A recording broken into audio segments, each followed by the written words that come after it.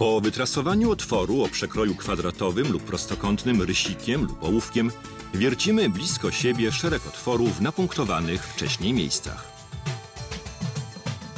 Najlepiej przy użyciu naszego specjalnego wiertła stopniowego.